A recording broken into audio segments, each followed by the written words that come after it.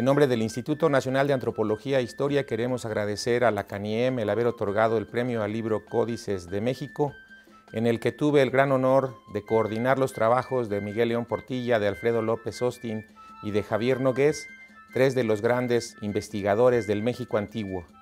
Quiero también agradecer al Gobierno del Estado de México a través de su Secretaría de Cultura y Turismo por haber apoyado la edición y Ramírez por haber hecho la edición del mismo libro. El libro nos brinda un panorama muy amplio sobre los códices mesoamericanos, el tiempo en los códices, sobre el ejercicio del poder y un trabajo de todos aquellos especialistas que durante los cinco siglos anteriores han trabajado estos interesantes manuscritos de México.